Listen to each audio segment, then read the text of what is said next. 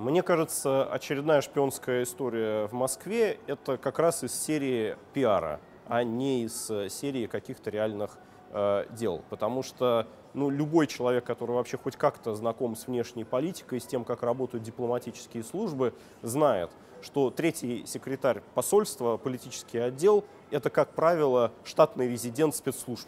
Это в нашем посольстве так – в, в том же самом Вашингтоне, это в американском посольстве в Москве, то здесь никого выявлять не надо. Когда человека назначают на эту должность, это фактически в открытую говорят, вот этот человек представляет интересы, там, в данном случае, соответственно, ЦРУ. И зачем устраивать весь цирк с его поимкой? Это только вот для дополнительного внешнего потребления, для публики, для того, чтобы сделать очередные жесты. Ну, по-видимому, это для чего-то э, потребовалось. Но в целом вот эта шпиономания, волна антиамериканизма вызывает лично у меня Э, большое сожаление. Я считаю, что сейчас надо не ругаться, а надо наоборот искать точки соприкосновения.